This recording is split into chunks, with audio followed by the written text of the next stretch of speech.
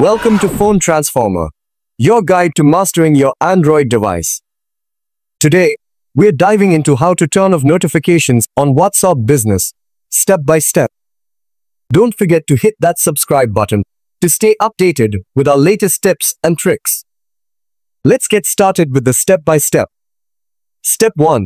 First, grab your phone and find the WhatsApp Business application. Tap and hold the app icon until a menu appear. Step 2.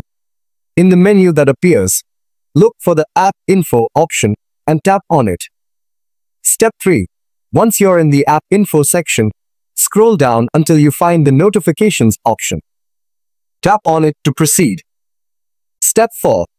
In the notification settings, you will see an option that says Enable WhatsApp Business Notifications. Step 5. Finally, tap on the switch next to enable WhatsApp business notifications to turn it off. This will disable all notifications from WhatsApp business. And there you have it. You've successfully turned off notifications on WhatsApp business. Thanks for watching and see you in the next video.